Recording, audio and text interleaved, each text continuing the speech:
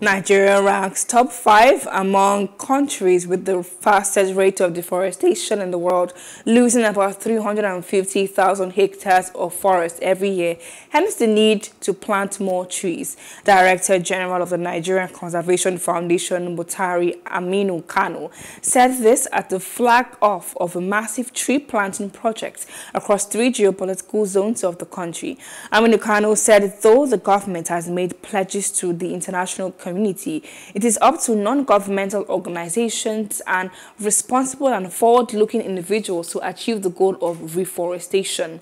The NCFDG hints that they hope to take the project to all states of the Federation with a special focus on Delta states where there are plans to create a mini conservation education center.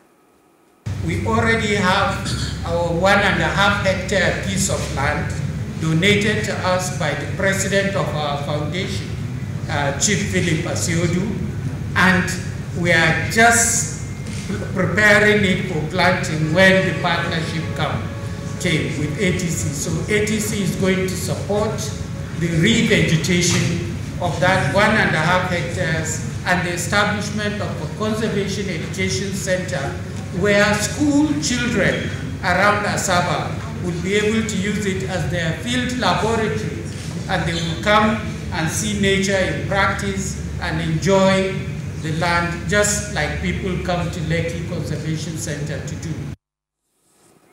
The exercise brought together environmental enthusiasts and organizations who were education on the benefits, who were educating on the benefits of reforestation and the need to protect the environment by planting more trees.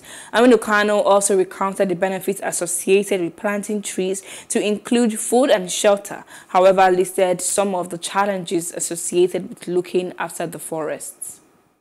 There are many challenges with uh, uh, looking after our forests and making sure that our trees remain standing. The major one is uh, expansion of agriculture. Agriculture itself, there is nothing wrong with it, but it's the way we do it. We slash and burn. So every couple of years, a farmer gets his soils where he's tilling are tired and then he or she goes to a new place, cuts down all the trees and starts again. Um, then with actual restoration and planting of the trees, there are also quite a few challenges. Uh, you need to protect the area where you plant the trees, otherwise uh, um, animals, goats, cattle and so on can go and eat up the seedlings you've, done, you've planted Please do subscribe to our YouTube channel and don't forget to hit the notification button so you get notified about fresh news updates.